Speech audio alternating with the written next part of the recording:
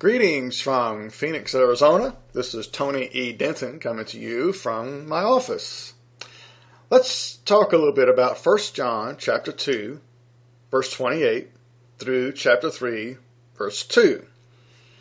The focus of this study is actually going to be verse 2 of chapter 3, where it says, Behold, what manner of love the Father has bestowed on us, that we should be called children of God. The world doesn't know us as such because it doesn't know Him. It goes on to say, Beloved, though we are now the children of God, what we shall be hasn't yet been manifested, but we've known that when He's revealed, we shall be like Him, for we shall see Him as He is. I think that's actually verses 1 and 2. Um, but verse 2 is going to be our primary focus. And this verse is of no little dispute among Bible students. Though it may have actually been clear to the original recipients of this letter, the same sadly just cannot be said today. In my estimation, the only way to unearth as closely as possible what John had in mind when he penned this declaration is to consider its immediate context, beginning at least as far back as chapter 2, verse 28, and continuing through chapter 3, verse 12. So, with that said, and since I obviously can't do justice in one study to all 14 verses, I'll have to skim over some clauses and phrases in this passage that aren't absolutely pertinent to our acquisition of John's intended meaning in verse 2. Well, let's go back now and let's read verses 28 and 29 of 1 John chapter 2 that kind of leads us into chapter 3 verses 1 and 2. Now, little children, Abide in him so that when he appears, we may have confidence and not be shamed away from him at his presence. Since you know he is righteous, you know that everyone practicing righteousness has been born of him. In other New Testament letters, we learn that the first generation church had dealt with attacks from without and from within. Besides being persecuted physically, even to the point of martyrdom, she was troubled mentally by professed prophets who taught lies about Jesus and his disciples. Then, to top it off, her ranks were infiltrated by folks Paul called false brethren who weren't only slipping in counterfeit doctrine, but even teachings which intended to lead Christians off into immoral lifestyles. Just read 2 Peter chapter 2 and the book of Jude and you'll see what I'm talking about. So those to whom John penned First John were Christians who had to deal with some of the same things. They had to deal with Antichrist from without, chapter 2, 18 and 4 verses 1 and following. They had to deal with subversives from within, chapter 2, 19. And of course, they had to deal with the horrific mess those infiltrators would leave behind, such as number one, problems related to their teaching that the Messiah hadn't yet come the first time, much less the second. Number two, hateful treatment of one another. And number three, just general wickedness in their lives. So, as with nearly every letter in the New Testament, this one, First John, was penned to encourage those who were going through these very confusing and difficult times which is why verse 28 begins with a charge to remain steadfast in Christ in order to have confidence instead of being shamed away from Him at His presence. Since the same ideas and words were used for confidence and shame in the Greek version of Proverbs 13, verse 5, John may very well have had this saying of Solomon in mind. An ungodly man is ashamed and will have no confidence. See, at least in the context of 1 John, to abide in Christ and God is clearly a way of saying to not live in an ungodly or unrighteous manner.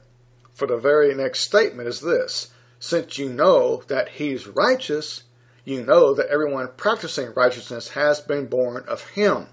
And then in chapter 3, verse 10, he said it in the negative. Everyone not practicing righteousness is not born of God. So you kind of have the bookends there. But we'll get more into the righteousness business a little bit later. For now, let's consider John's statement to abide in Christ so that we, quote unquote, may have boldness at his appearance. Let's focus on John's first person pronoun we here for a moment. Speaking of their world, John had just said a few verses earlier that at the time he wrote, around AD 65, it was in the process of passing away. What was? Their world. Speaking of their world, around AD 65, it was in a process of passing away, 1 John 2 17. In fact, due to all that was transpiring at the time, including the presence of the Antichrist no less, he even went on to say twice in verse 18, It is the last hour. Now, speaking of this Antichrist stuff, you will probably want to go back and see my notes or listen to the audio of Second Thessalonians chapter 2 verses 1 through 8 on a sightforthelord.com. And it's also in book form in my book, Pertinent Parousia Passages. Um, I don't go into a real lengthy depth of it, but it's very interesting the correspondence between or the parallel between 1 John 2 and 2 Thessalonians chapter 2. Anyway, so do we really believe it was a mere fluke that John led them from there in verse 18 of chapter 2, 17 and 18, right into a discussion of the Lord's return? He talked about the passing away of the world and the Antichrist in verses 17 and 18 in chapter 2, and then the Lord's return in 28 through 3 and 2. Surely that's not a fluke. With that, and John's choice of the first person pronoun we, that is, John and those of his time, in verse 28 in mind, recall that even Jesus himself indicated that John could in fact live until his return.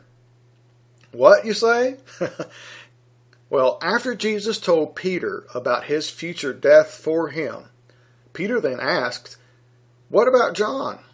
To which Jesus said, If I'd like for John to remain till I come, what's that to you? So the word spread around that John wasn't going to die, even though Jesus didn't say he wasn't going to die, but that if I'd like for him to remain till I come. That's all found in the Gospel of John, chapter 21, verses 21 through 23. So, yes, John could and did choose the first person pronoun we in 1 John 2:28 because he very well could have lived till the return of the Lord.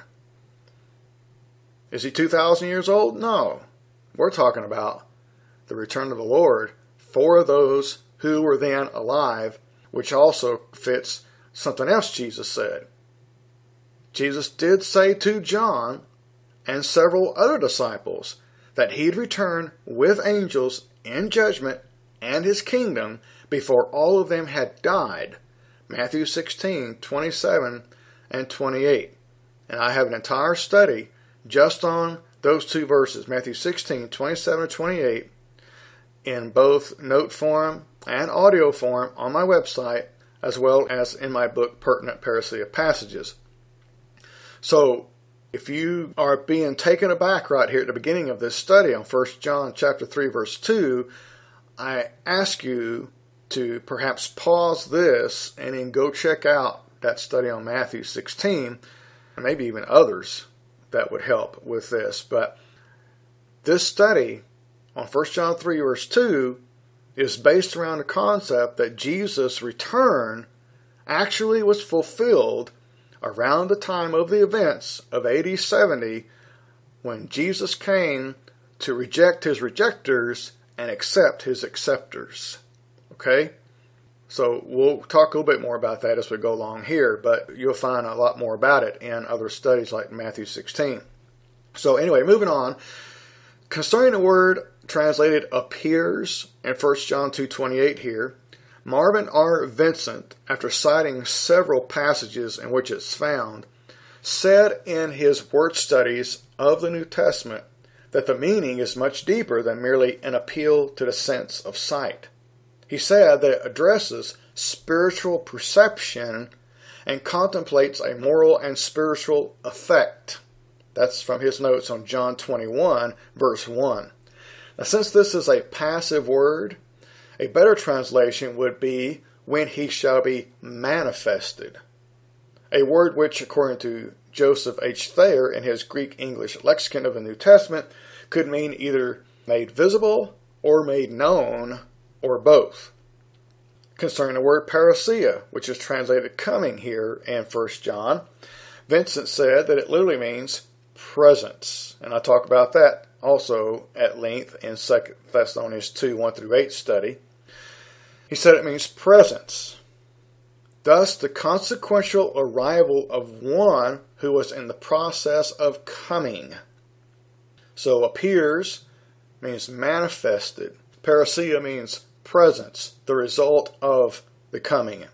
W. Vine, in his expository dictionary of New Testament words, notes that parousia is from para, which means with, and ousia from eimi, which means to be. Thus, to be with, or to be in the presence of. Therefore, to summarize, John was saying in 1 John 2 28 and 29, let's all abide in Christ. That is, live godly and righteously, verse 29, so that when he appears, or when he is manifested, we may have confidence in his presence. So let's go on now to chapter 3, verses 1 and 2. Behold, what manner of love the Father has bestowed on us that we should be called children of God. The world doesn't know us as such because it doesn't know Him. Beloved, though we are now the children of God, what we shall be hasn't yet been manifested. But we've known that when He's revealed, we shall be like Him, for we shall see Him as He is. So, we've now come to a spot that brings us back to something I brought up earlier. Moments ago, referring to chapter 2, verse 19 of 1 John, I mentioned the subversives. Who were these infiltrators? Or more to the point of John's writings, who were those troubling these disciples of Christ? Who were those who left their Christian ranks because they were never truly Christian? Right, the Hebrew people who rejected Jesus as the Messiah. They were called Judaizers. See, when John wrote during the transition between Pentecost of Acts 2 and Holocaust of AD 70, between the departure and the return of Jesus, there was an extreme disagreement concerning who exactly were the children of God.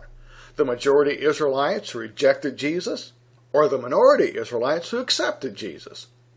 Well, we know today the truth of that which John was reassuring these disciples that is, that the minority, or the remnant, were God's true children. That fact just needed to be made known, manifested, or revealed for all of them to witness at the promised demise of Jerusalem with its temple by Jesus through the Romans. This very same issue was what Paul was dealing with in Romans 8 16 through 18. Just as John here in chapter 2 20 through 21 brought up the Spirit in connection with this, so Paul wrote, the Spirit bears witness with our spirit that we, that is, the remnant, or what he called in verse 23 the first fruits, are the children of God. And since we're his children, then we're also heirs, heirs of God and joint heirs with Christ, since we're suffering together with him, that we may also be glorified together with him. For I consider that the sufferings of this present time are not worthy to be compared with the glory which is about to be revealed in us. Wow. Romans 8 16 through 18 is a tremendous parallel with 1 John 2 20 through 3 and verse 2. Note how Paul in Romans 8 emphasized glory and glorification.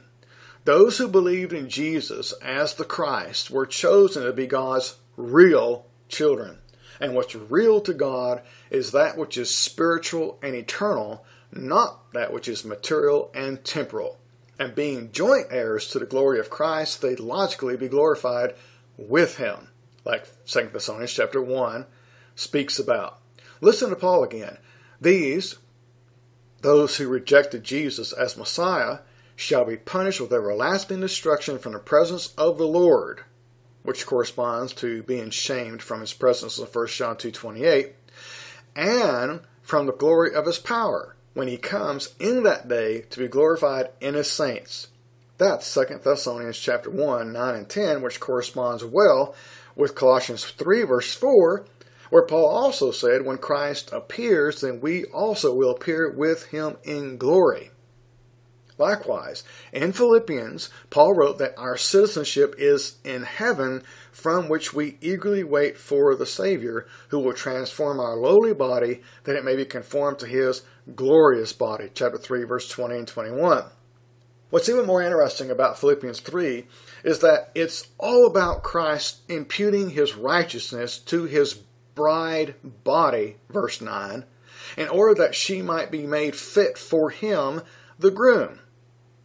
And I have an entire study on Philippians chapter 3 as well on my website, a sightforthelord.com, Philippians chapter 3, both in note form and audio form. Now, why is this interesting about the bride body being made fit for him in Philippians 3? Because I believe that was the primary thing John had in mind when he was writing our text under consideration. That is, while according to 1 John 2 28 through 29, they were to do as Paul taught in Romans 13 13 and act like they were already accredited with Christ's holiness, they would be greatly anticipating the fulfillment of the imminent hope of being glorified with Him in His perfect righteousness, which would in turn, of course, vindicate the Christians as God's true children or the new covenant spouse of the Christ. Consider prophecy for a moment. In Hosea 2:19, God had said, I will betroth you to me forever. Yes, I will betroth you to me in righteousness. So then later in chapter 10, verse 12 of Hosea, and according to what John and Paul both wrote, he went on to say, God did in Hosea 10 and 12, sow for yourselves righteousness Reap in mercy, break up your fallow ground, for it is time to seek the Lord till he comes and rains righteousness upon you. See, they had not yet received the righteousness of Christ, even by the time John wrote in AD 65. He had not come and given it to them yet. That's why in places like Romans 4:23 Galatians 4 and 5, it speaks about the hope of righteousness for them. Well, you think they already have it? No, not yet. The Lord had to return from out of the most holy place with salvation and righteousness to give to them. But before he did that, they were still being told to act like they already had received it to be righteous, to do all they could to act and live righteously. That's not only spoken of here in 1 John, but also in many of Paul's writings and even indicated in Hosea 2:19 and 10 and verse 12 where God said, "Sow righteousness until the Lord rains righteousness upon you." See, those of John's world didn't know, and thus wouldn't acknowledge, that Christians were the true children or spouse of God because they didn't really know God. That is, the Jews, all the Hebrew people, all the Israelites of John's world is who he's talking about. As with Saul before he became Paul, Acts 23 1 and Acts 26 9, the Christ rejecting Jews thought they knew God. Those of that world that was passing away thought they knew God, but they were very sadly mistaken. They were not those working the righteousness of God. They were working out their own righteousness and missing out, according to Paul in Romans 10, on the righteousness of God. So John was telling these folks, listen, brethren, you've accepted Jesus, the Christ, and he's going to come and give you righteousness, but you need to be acting as if you already have it. Again, Romans 13, 11 and following. So, what did John mean when he said that they'd become like him because they'd see him as he is?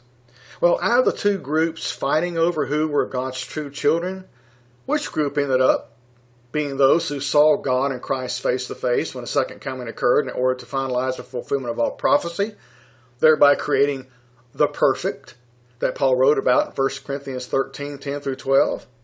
Right. Christians. Christians were the ones who got to see God face to face, the face to face relationship. They were the ones who got to enjoy that, to see that. Physically, literally?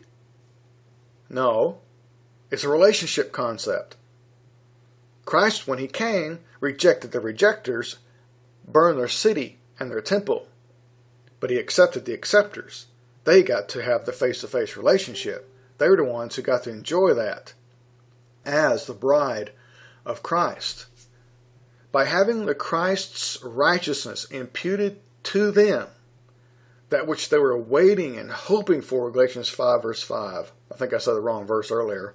I think I said Galatians 4, 5. They were the ones who were placed into a face to face fellowship, a consummated relationship with their Creator. Paul wrote of them at that time in 1 Corinthians 13 12 that although they saw, that is, understood, that all things would be fulfilled in the Lord Jesus upon his return, it would only be then that they'd see face to face. So for them to see him as he is, meant for them to see him, this Jesus of Nazareth that the others had rejected, as the fulfillment of the true everlasting righteousness that was prophesied in Daniel 9:24 500 years earlier. Think about that. Daniel 9:24 prophesied of the righteousness that Jesus would bring. Jesus did not come back with that righteousness in its fullness to give to his brethren. Hebrews 2 10 and 11. Then we don't have righteousness today. And by the way, speaking of this face to face relationship that was created through the giving of Christ's righteousness, that's talked about in 1 Corinthians chapter 13, 8 through 12. You can find an entire study of mine on that passage also on a site for the sightforthelord.com, also in note form, audio form, and as well in my book Pertinent Parousia Passages, along with Ephesians 4, 7 through 13, which fits in here as well. See, all those of their world and their time that is of John's world and John's time, would see the Lord in some respect or other, such as their judge at his return, but only Christians would be given the privilege of seeing him in a face to face, reconciled relationship. Yes, again, they'd all see him in some way, some fashion, but only the Christians would be granted the righteousness of Christ, thereby creating that face to face reconciled relationship. Because they were given that privilege, they were given that privilege of that face to face reconciled relationship. Because of that, they were in turn glorified with the Lord in His perfect righteousness, binding them to Him and their Father Yahweh to the point that He could then live in them as His temple, which brings up John chapter 14, verses 1 through 3, and then verses later around 18 and 23.